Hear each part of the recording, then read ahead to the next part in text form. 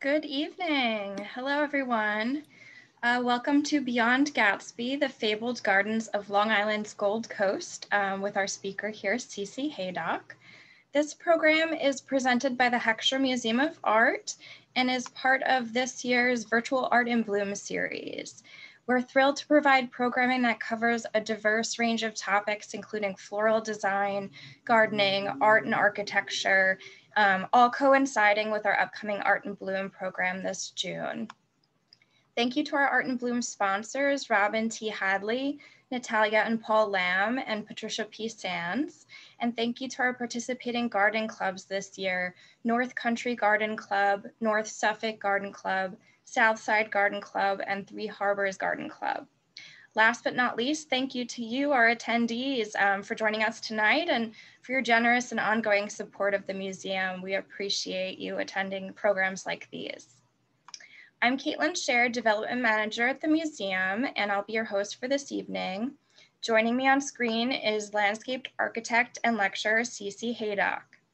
Cece Haydock is a graduate of Princeton University and the SUNY School of Environmental Science and Forestry, where she received a master's degree in landscape architecture.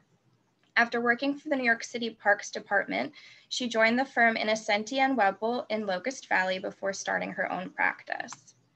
In 2007, Cece completed research as a visiting scholar at the American Academy in Rome on Edith Wharton and Italian villas. She has lectured and written on historic French, Italian, and American gardens, for organizations including Maryland's Ladew, Ladew Gardens, the Decorative Arts Society, Princeton University, and numerous other garden and horticultural clubs. That's a mouthful.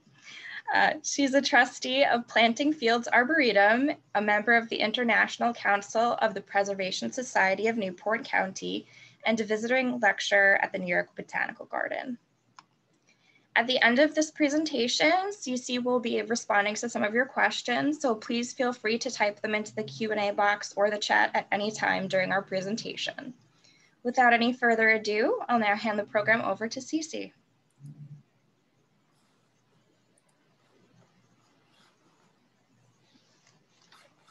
Cece, are you able to share your screen with us? I, I am. Great. Thanks.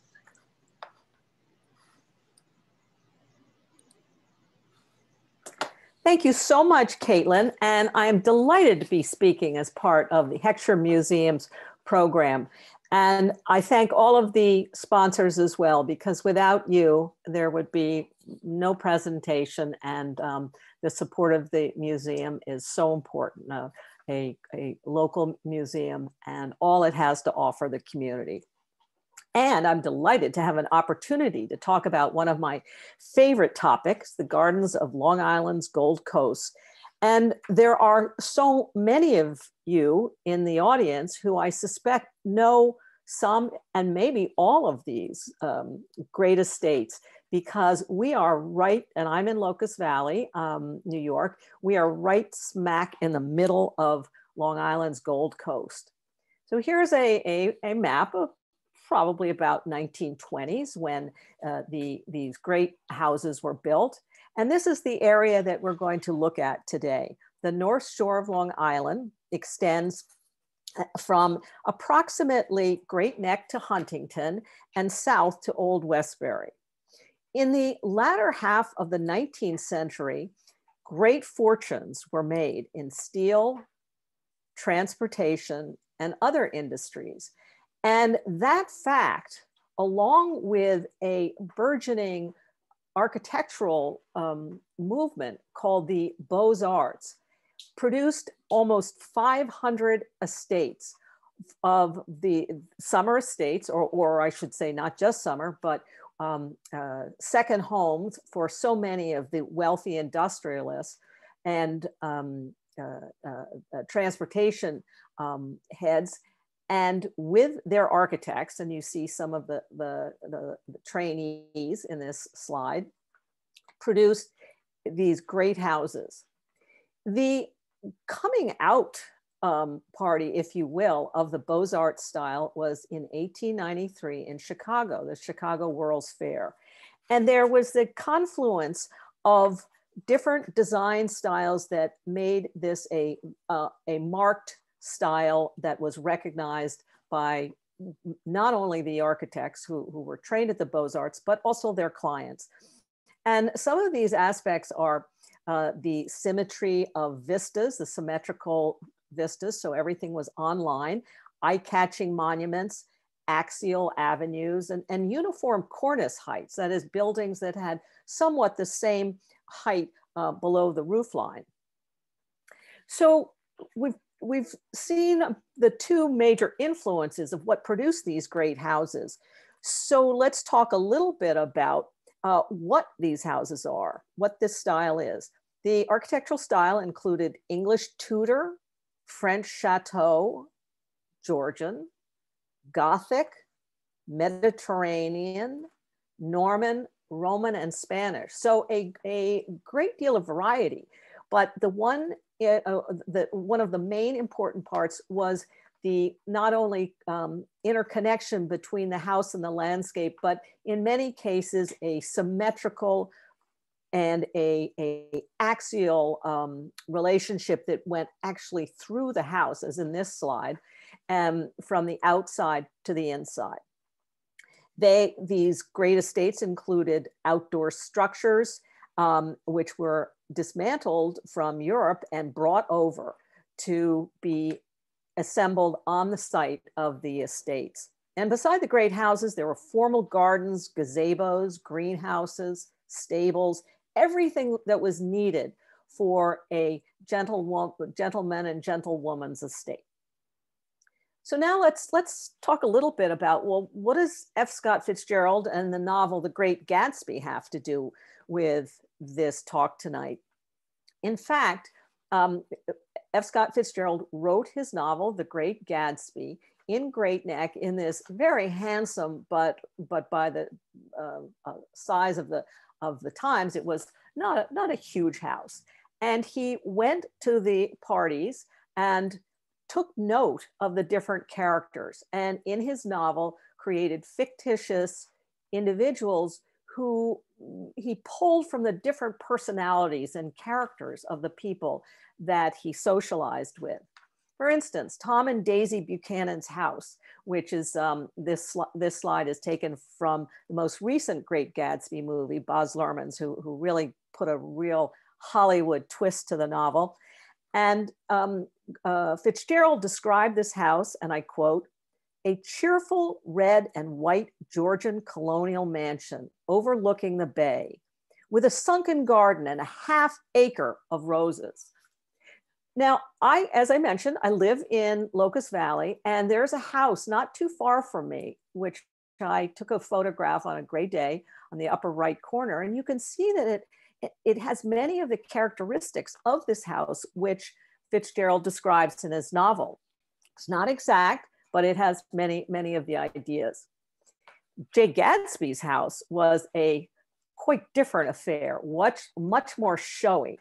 And from the novel, The Great Gatsby, and I'm quoting, um, Fitzgerald writes, it was a colossal affair, a factual imitation of some Hotel de Ville in Normandy, with a tower on one side, spanking new under a thin bank of raw ivy and a marble swimming pool, and more than 40 acres of formal lawn and garden.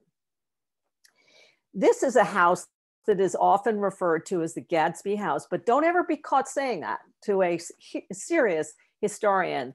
Um, and there, there are many, um, not many, there, there, are, there are several really well um, uh, researched um, experts on the Gold Coast mansions of Long Island. And they will all tell you that Gatsby's house is an amalgamation of different houses. But often this house, Alva Belmont Vanderbilt's house, is often thought to be um, one of the influences of Gatsby's house. And there's the Baz Luhrmann house on the upper right. The first, so that gives you a little background of, of the, the, the um, uh, relationship between the novel The Great Gatsby and the houses we'll look at today. So that, uh, Fitzgerald took these houses that he visited And, and he blended them into not only um, his architectural descriptions, but also the activities of the individuals.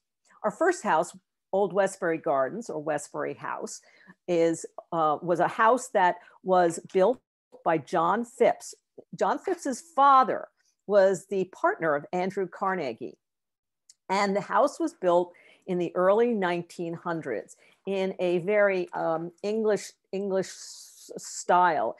Um, Margarita Grace, John, John Phipps's wife, was an English woman and she wanted a, uh, excuse me, she had, she was very interested in English gardens and she wanted an English garden and a, a walled garden as well that she could um, have a, a very serious horticulture collection. This is some of the elements that are, have been taken not only from houses in England, but also sphinxes, which are, of course, um, examples of classic classical Egypt. And these are elements, this type of element is incorporated into so many of the Long Island houses to give it this sense of age and, and uh, gravitas. This is a side view of the house looking out at the duck pond. Beyond that, a reflecting pool and a group of columns that are connected um, at the top. And this is a view looking now up at the house from this pool. And it reminds me of the Getty Villa, which was built um, a little later in the uh, uh, 20th century by John Paul Getty. And what he was trying to do in California was to create a replica of a Roman villa. And you can see the lines are very similar, this, this long um, uh, rectilinear shape with the curves at either end. The walled garden that Margarita Grace wanted is really a, a showstopper. And um, starting now, and probably several weeks ago, um, you begin to see the incredible horticulture display that the staff at, at Old Westbury Gardens produces. And the uh, John Phipps left a great endowment so that the garden is able to continue maintenance as we all know is such a huge part of uh, maintaining our own houses and you can imagine the maintenance costs here.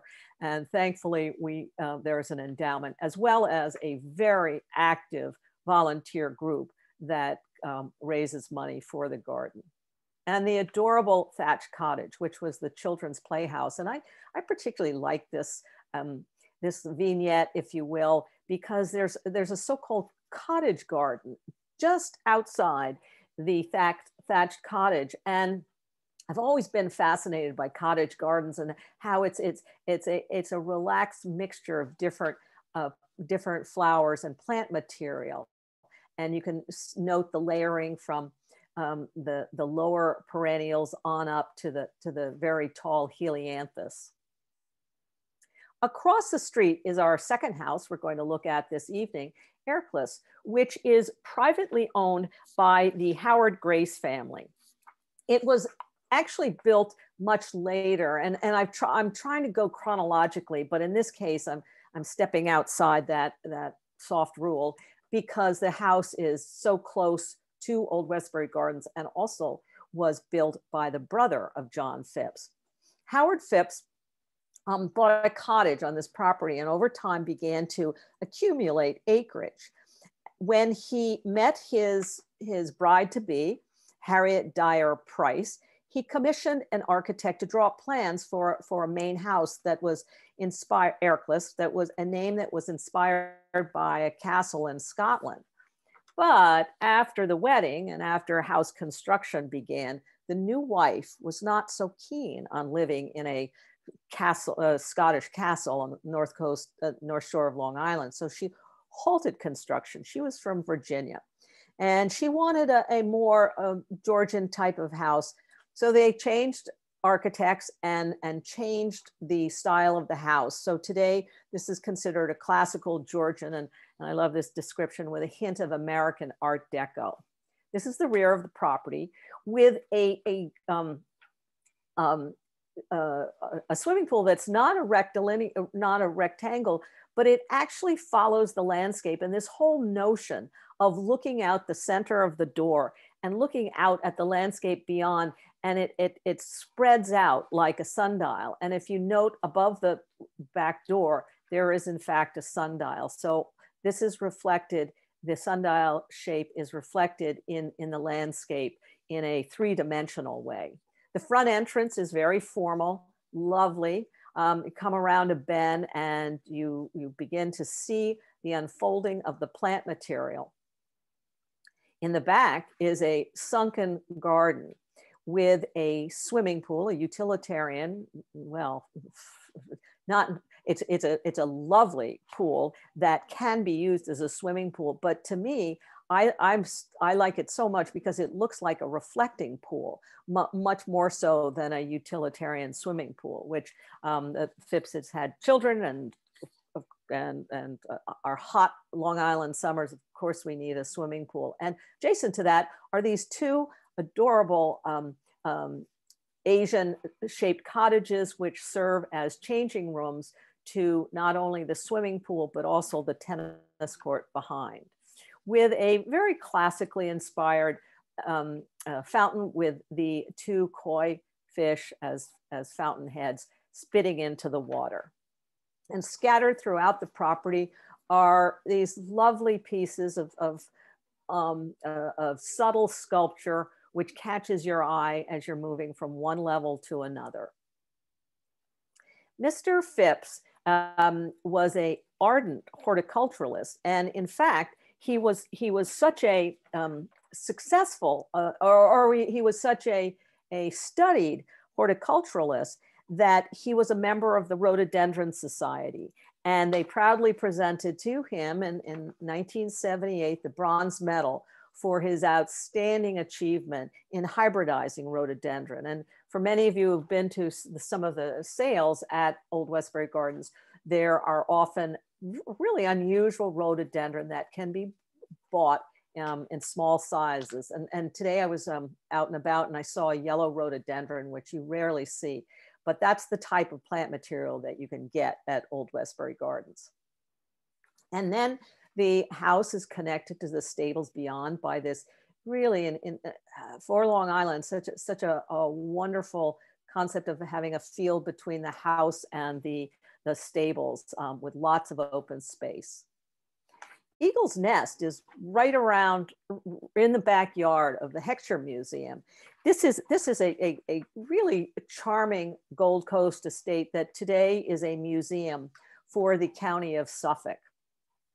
One would think you're in Spain because it's got a, a it's got a an entryway that you enter as if you're in a um, somewhat protected uh, fortress. And then it opens up into this courtyard. The house was begun in 1910, but wasn't finished until 1936. And it went through many different changes. The owner was William K. Vanderbilt, who was um, who had the original house designed by actually his cousin, Whitney Warren of the architectural firm Warren and Wetmore. And um, um, one, of, one of the Grand Central stations in New York was also designed by Warren and Wetmore. There were, there were Grand Central Depot, Grand Central Station, and one, one more, but there's been many iterations of Grand Central. And the same architect who did Willie K. Vanderbilt's house was the architect for Grand Central. And this is an idea of how the house grew over time, almost an organic creation with two, um, two story structures on either side and then connected by a covered passageway. With a, with a view of Long Island Sound and through a porthole-like door. Uh, William K. Vanderbilt was an avid yachtsman. He, this, this um, how his the house he built was on 43 acres um, and it had a power plant he he he also had seaplanes which he used he, he had a pilot who had an apartment at uh, Eagle's Nest, and he used the seaplanes to get William um, Willie K. Vanderbilt back and forth um, to his summer homes and, and, and work. A Moroccan style garden. And, and there's, there's a little bit of everything at uh, Eagle's Nest, this, this Moroccan style um, fountain in an enclosed courtyard with, with Italian putti on the left. And there's another sundial. We saw that at Erchless. And here's another sundial, a, a very large one, completely covering the entire wall. And this is a side entrance to um, um, Eagle's Nest. And when I was traveling in Portugal, I'm always looking. Uh, I mean, it's it's. I'm always looking at details and looking at gardens and whatnot. It's kind of how I, I travel. And I found at the uh, um, Chateau Mateus, and excuse me, so many of you may have drunk a little bit of Mateus in your in your youth. It was that the, the wine very popular um, well, when I was in college, but never mind. Um, I, I, think we've improved the quality of the wine we drink today. But I was really struck by the similarity between Eagle's Nest and this villa in, in um, Portugal, in Porto, Portugal. Some of the details that, that I find fascinating are, is this embedded pebble mosaic. And on the right is one section showing a um, acorn, which was a the symbol of the Vanderbilt family. Some people say, or, or the legend goes that these are columns that came from the ancient city of Carthage that was burned down. I'm not so sure about that. I'm not going to um, uh, make an argument, but I love the placement of them just so, and this is as you drive in the entrance to Eagle's Nest. And it reminds me of Hadrian's Villa, which is the um, uh, villa, the ancient Roman villa outside of Rome, and this whole notion of columns decorating a space. Now, at, at Eagle's Nest, the columns have been um, placed um, to greet the visitor as one comes in, but it's this this this idea of a um, columns that signify a space um, which is the columns are highly permeable. It's not really a building, but it's an enclosed area. These are eagles that were brought to Eagle's Nest, hence its name, from Grand Central Depot when it was, that was the first iteration of Grand Central.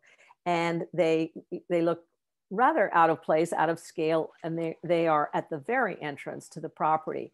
But they certainly do make a statement. The Vanderbilts owned Grand Central Station and the railroads that went in and out from Grand Central Station. So it's a symbol not only um, of, of power, but also the family's power. And that's William K. Vanderbilt himself.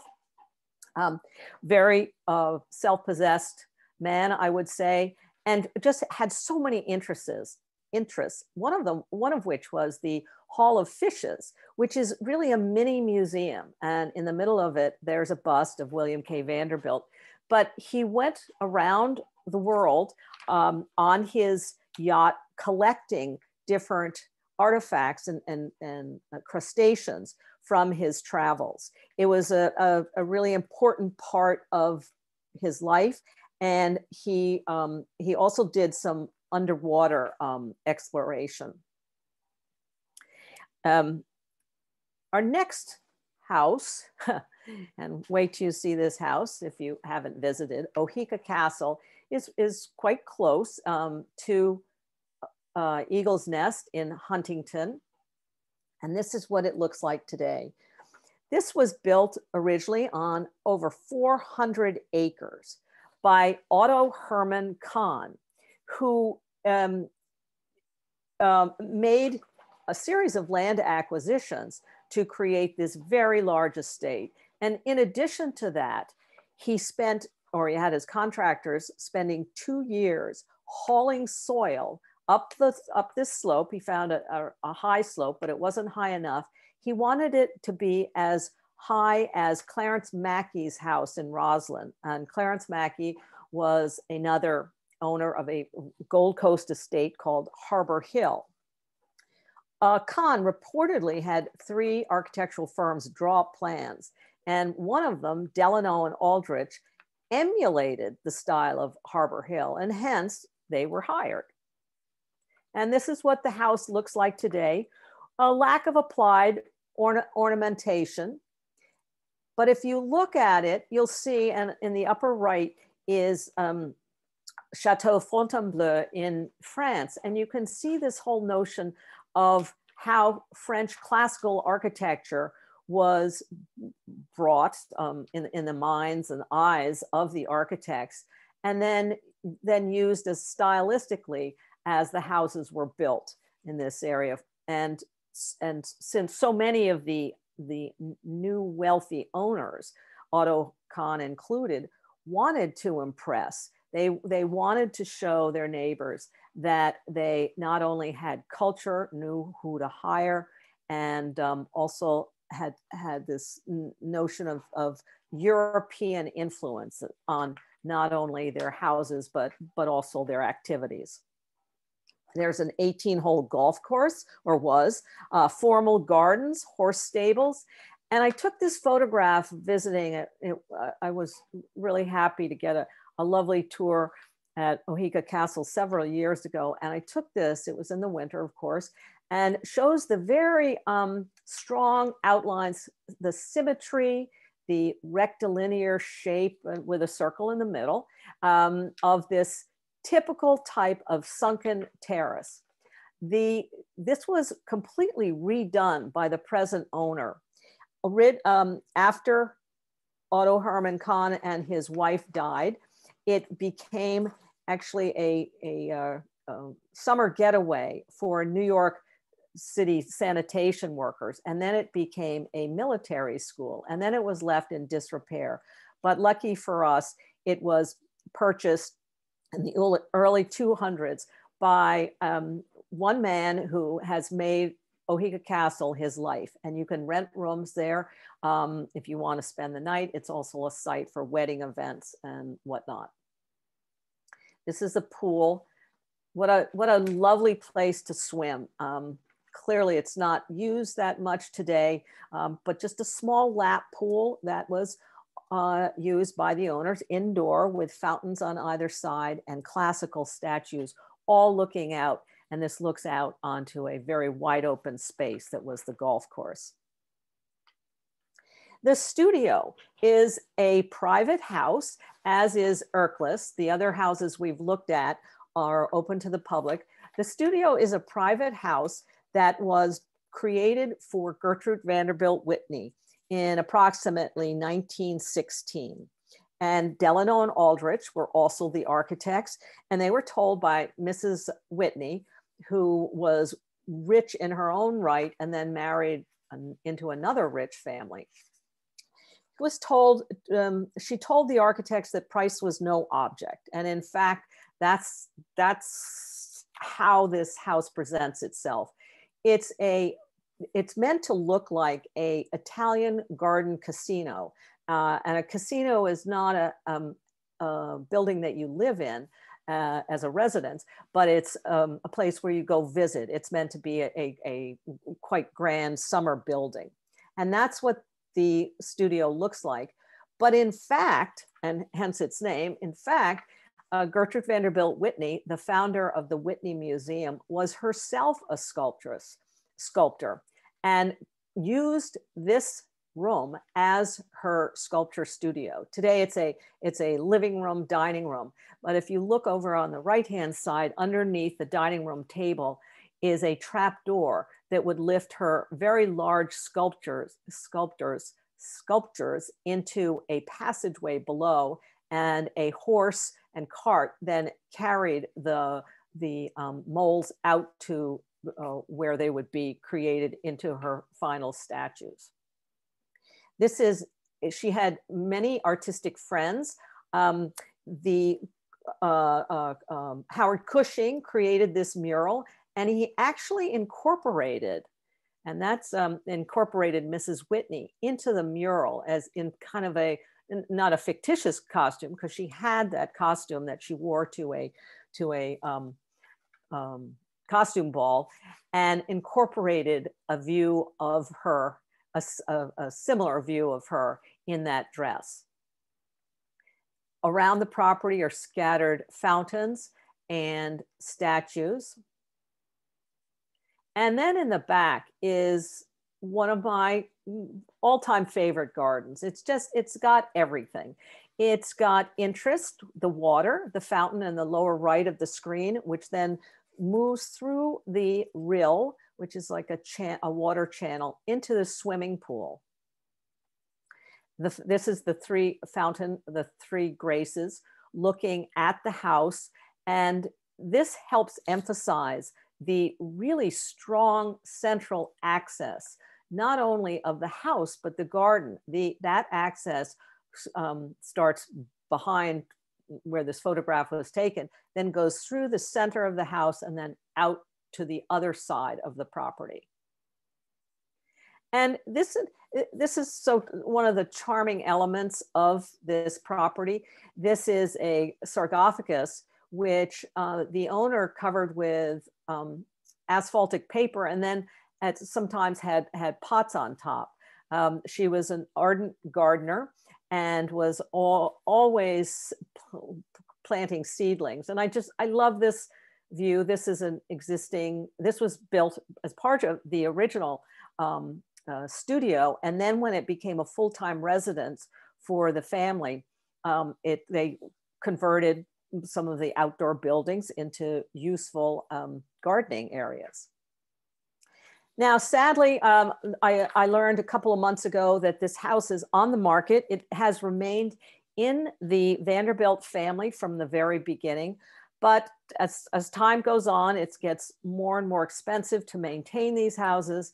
And um, it's just, uh, uh, uh they, this, this is a, a relic of the past, but oh, what a relic it is. And um, became a, a, just a lovely, well visited family home. And I hope many of you have visited it because the owners are very generous and, and would host benefits and um, at the studio and, and loved having people see their great house. Planting Fields is a is now an arboretum in Oyster Bay, New York. Was built by William Coe, who was who was a self-made man and then he married quite well. He married Mai Rogers and together they built planting fields which the original building the original residence which they first rented burned down and then they built a new building. The architect was grosvenor grosvenor atterbury and added gardens gardens a lot of gardens uh, this is the so-called blue pool garden or the uh, Italian garden. And it's lined, as you can see, with um, blue tiles with two fountains in the middle. And at the end is this very sweet thatch cottage. It might remind you of the, that, uh, excuse me, this is not thatch, but the shape might remind you of the thatched cottage at um, Old Westbury Gardens. And inside are is a design is an interior that was designed by Elsie de Wolfe, the famous decorator of the early part of the 20th century, with murals by uh, Chanler on, on the walls. This is Mai Coe's bedroom. It actually wasn't the this was not the original design, but um, the the murals were taken down at some point, and the in the past uh, 15 years, and the executive director found a muralist who could capture the idea of what had been there through photographs. And I think that the artist really succeeded. If you look on the right hand side, you see this great expanse of bay windows, and those bay windows look out on the blue pool or the Italian garden. And just because Americans like to have it all, the house itself is predominantly a Tudor revival house. And yet here we have a very Italianate, Italian Renaissance type of open loggia. And it's, it's attached to the house. Um, and um, I don't know, you might say, well, it's, it's a little out of place, but I always find that this is the charm of American, um, of uh, American architecture there's there's not this strict and, and really snobbish attitude that you have to have one type of architecture it's not a purist i mean of course of course we have those who want it um, just exactly by the book. But I, but I like how this Italian loggia is added on. And just recently, just the, the scaffolding came down. Um, this was uh, leaking like leaking like a sieve, and it was completely redone.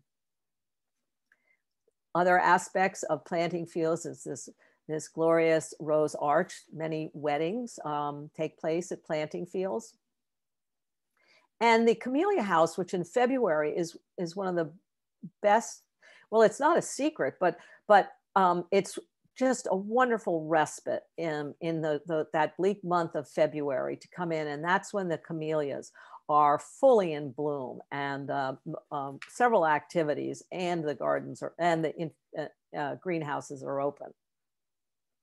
So we've finished with I've finished with six six houses we visited, and and um, I I did kind of condense this talk a little bit because I I didn't want to run over the time, but I can't help but leave um, leave you this evening without talking about Beatrix Farrand, and many of the um, houses we looked at were designed. Um, the gardens were designed by Olmsted Brothers, and Beatrix Farrand was a, a, the first founding female member of the American Society of Landscape Architects and highly regarded um, in the US. She did many designs on Long Island, but sadly, none of them exist. This is one, this is a plan, uh, excuse me, a bird's eye view of one of her gardens. And you can see all those elements of, of an Italianate garden with the reflecting pool and the matching, two matching buildings at the far end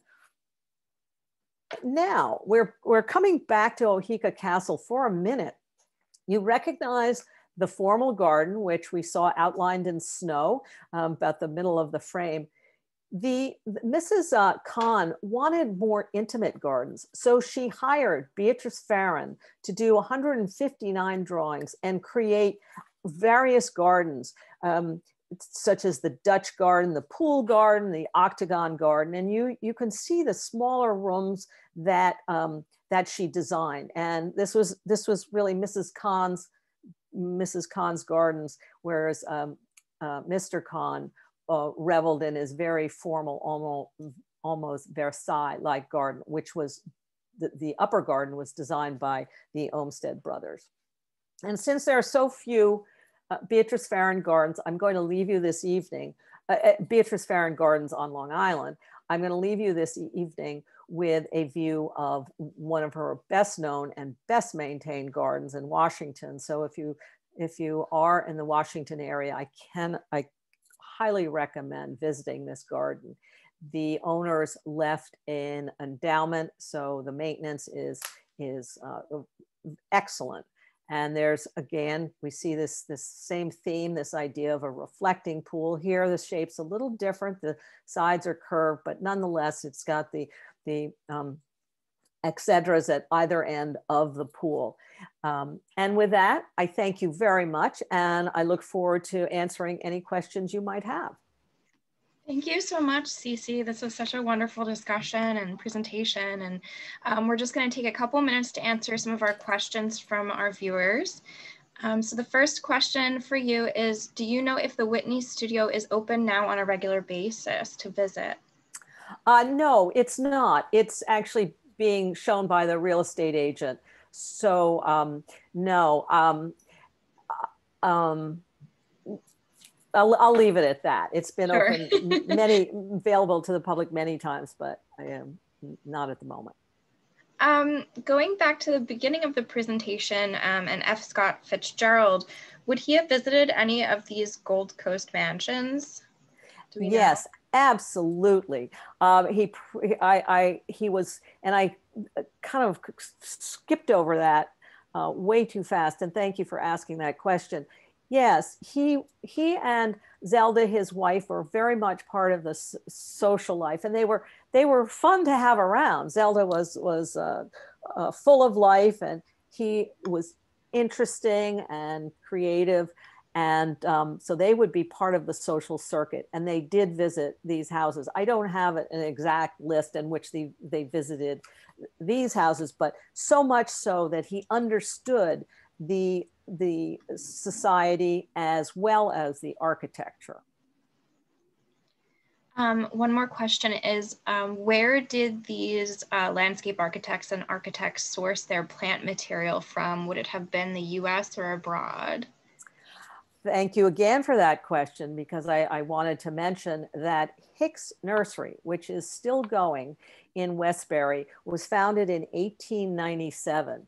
Um, they supplied many of these estates, and um, I, I, suspect, knowing William Coe, um, who was born in England, I suspect he he um, imported some of his camellias from England. I don't I don't know that for a fact, but um, he was a Anglophile, so it would make sense. But typically, the plant material material came locally, and, and Hicks Nursery was one of the suppliers.